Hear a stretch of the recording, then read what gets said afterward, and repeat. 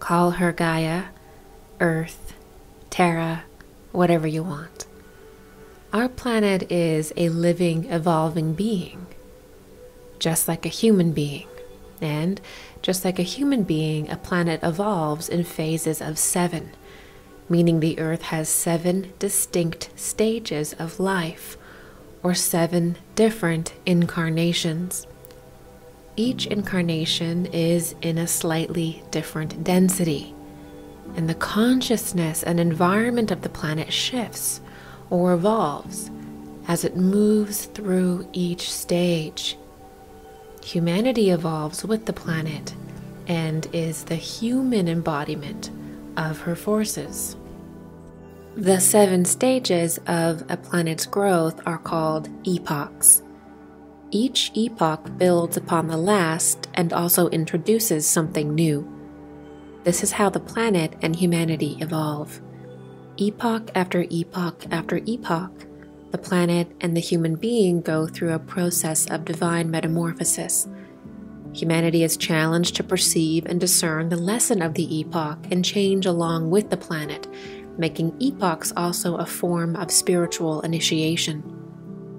The ability to take on the challenge of an epoch and transform oneself is to evolve with the life wave of the planet. The inability to perceive the task of an epoch correctly means falling away from the life wave of the Earth. In Theosophy, a planet's evolution over a long period of time is called the life wave. The life wave not only includes the evolution and metamorphosis of a planet, but also the human beings evolving on that planet. The goal when incarnating on a planet is to evolve with it, to move within the life wave. Our body, our form, is the earth. All of the forces that our body is made of is drawn and made from the elements of the earth and is in union with it or part of the earth's expression. Thus, we cannot separate our form from the earth and evolve. To make changes to our form and physicality or to abandon the earth is to forfeit our place in the life wave and to fail the initiation of our time, of our epoch. The seven planetary epochs of our Earth are the Polarian, the Hyperborean, the Lemurian, the Atlantean, and our current post Atlantean epoch. There are also two future epochs. The first three epochs were centered around the materialization or the creation of our physical bodies and the materialization of the earth. The last three epochs focus around the spiritualizing of that form or of the body back into the astral plane, or the ascension of ourselves out of matter and off of the wheel of material reincarnation. The middle point of development is the turning point, where the I, or the individual soul, or holy individuality, is introduced. Humanity is not alone in this evolutionary journey. They are, in fact, part of the spiritual hierarchy, or the angelic hierarchy. They are the most material form of the hierarchy, and if humanity is to evolve with the life wave of the earth to its completion, humanity will ascend to become the official 10th angel in the hierarchy of angels. To do this is not simply about spiritual forces alone. We must be good custodians of our form, of our body. We must see the human template, the human form, as perfect as it is, and understand that it is our task now to spiritualize the form. We must also recognize that changing our form through transhumanism or genetic manipulation is a form of spiritual materialism that will potentially separate oneself from the life wave of the earth and the angelic hierarchy. Let's explore the Polarian epoch.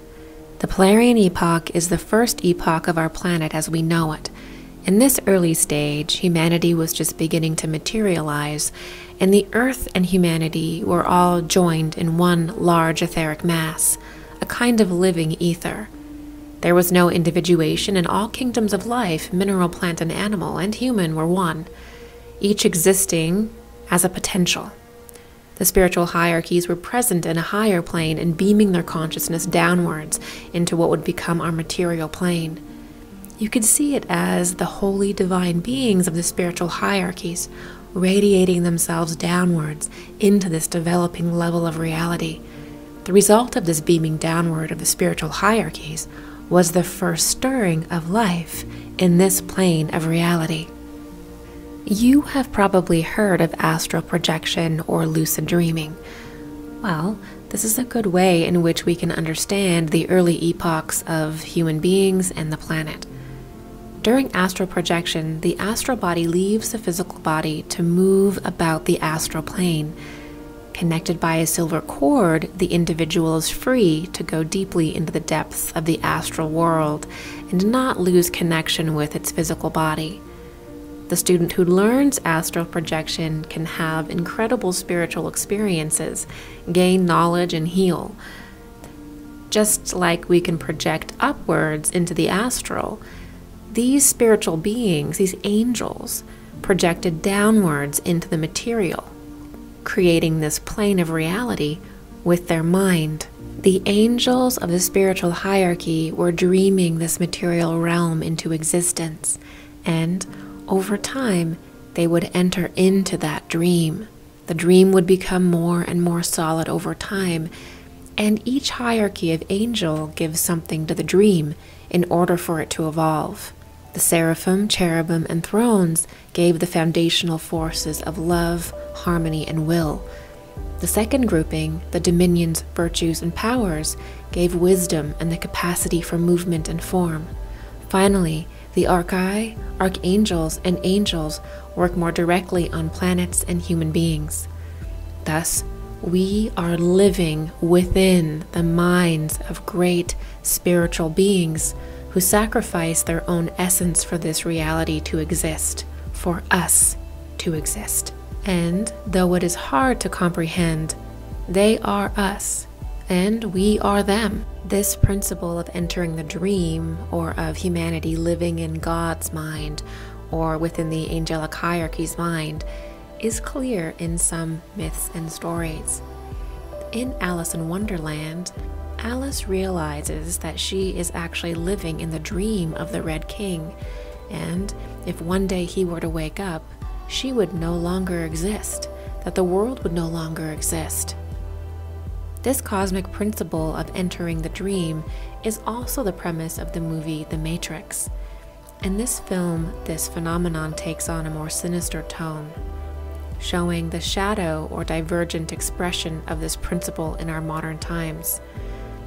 Neo realizes he is within his own dream, and his real body is unconscious and in a Borg like existence where his energy is being harvested. The Earth during the Polarian epoch was just taking form and was manifested slowly from the downwardly projecting minds of the angelic hierarchies or the spiritual hierarchies. Thus, in this early stage, the Earth and humanity were more like a nebulous blob. In the later stage of this epoch, certain outlines of what would be human forms began to congeal and the first forms were more like an oval or an egg shape. These egg shaped forms could sense sound vibrations. Life was centered around what we would recognize today as the North Pole of the planet. But the Polarian epoch is best understood as divine potential or the divine seed, the beginning. This earlier Polarian phase of life for the Earth and humanity was explained by Rudolf Steiner as a kind of germ phase, saying, At the period discussed here, we are dealing with a kind of earth germ. This contained within itself the forces which led to the earth of today. These forces were acquired through earlier conditions. This earth germ, however, must not be imagined as a densely material one like that of a plant. It was rather of a soul character. It consisted of that delicate, malleable, mobile substance which is called astral in occult literature. In this astral germ of the earth, there are only human rudiments at first. These are the rudiments of the later human souls. In anthroposophy, the Earth in the Polarian epoch is made up of astral and etheric matter. Forms are beginning to take shape as soul essences shape the ether with their minds. It is a sphere which in turn is composed of innumerable small ether spheres, the ether men, and is surrounded by an astral envelope, just as the present Earth is surrounded by an envelope of air.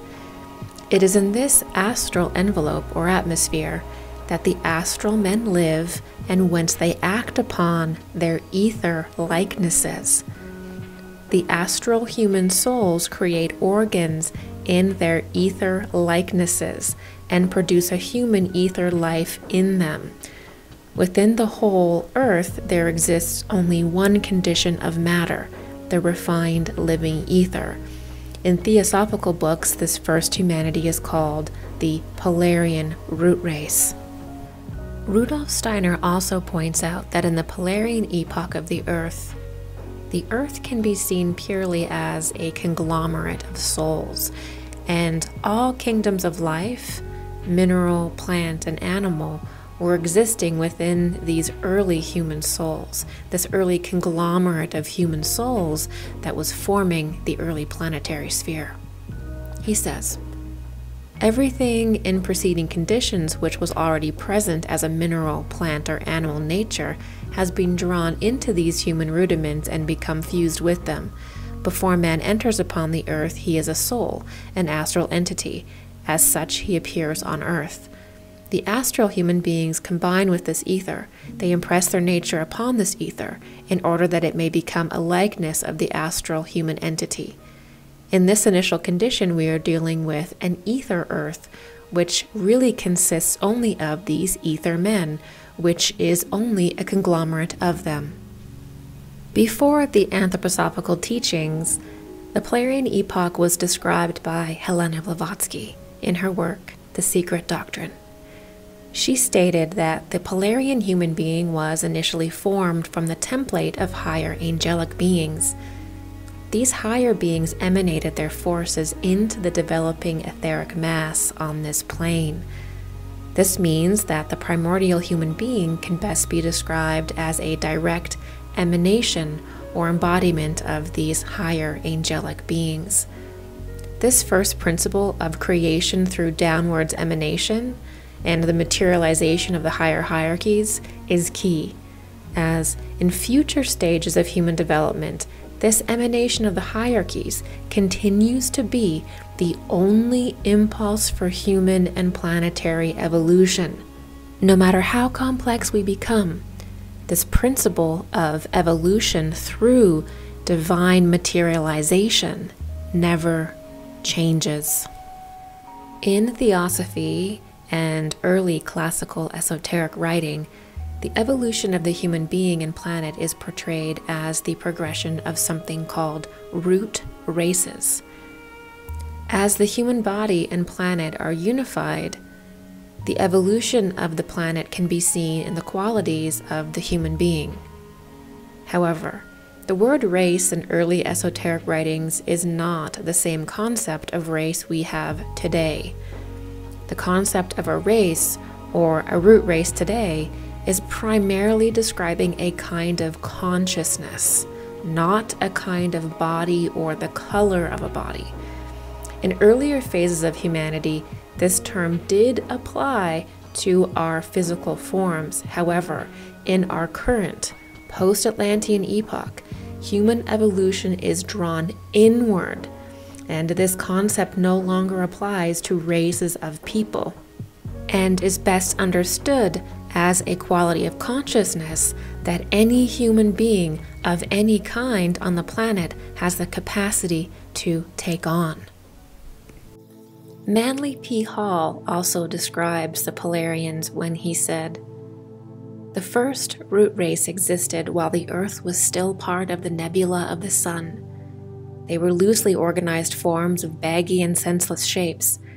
They had very little consciousness but were connected by magnetic cords to the higher spiritual side of their own natures, and also with guardian intelligences. They were not subject to mortality, but lived forever. They lived in the fire element exuded from the sun. They developed vaguely the sense of hearing. Those are the sons of yoga. At first, there was no reproduction, but later reproduction was accomplished by fission. The third eye was active as the pole of the magnetic cord. These are called the Polarian species. In closing, the Polarian epoch has been spoken about by many classical teachers, from Rudolf Steiner's Anthroposophy and Madame Blavatsky's Theosophy to Manly P. Hall. All of these teachers took the time to portray the most formative level of our Earth's development, as this level represents a very deep level of our own consciousness. The main themes of the Polarian epoch are that there was no individuation. All life, from the micro to the macro, was unified in one living astral or ether ball. This is often compared to a nebula. Even what would be our great sun and all of the planets that we see today were at one time united with the earth and not defined at all. They weren't individuated. All kingdoms of life, mineral, plant, animal, and human were also united as one, as a pure astral etheric mass of potential just waiting to be warmed by a sun, the sun. There were soul essences on the planet at this time, and they took on a rather nebulous shape. The only sense in this early stage was hearing or sound. This is parallel to the idea in Genesis where John says, In the beginning was the Word, and the Word was with God and the Word was God. The same was in the beginning with God, and all things were made by Him. Thank you, everyone, for watching. Please don't forget to keep these teachings going by giving this video a like, comment, and share. If you want to go deeper, I work more directly with students on my website, where I also accept donations. Thank you.